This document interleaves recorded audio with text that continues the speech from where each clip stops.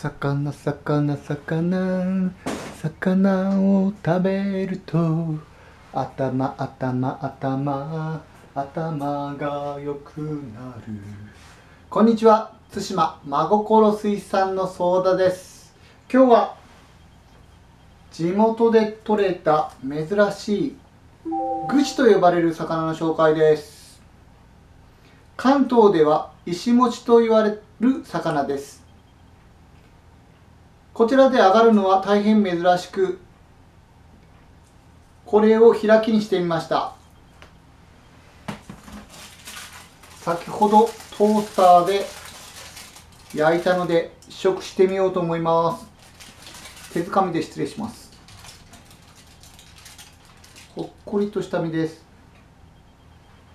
うん。脂が乗っていて大変美味しい魚です。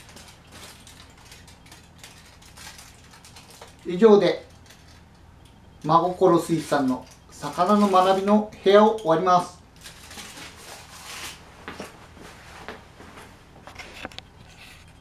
あんまり。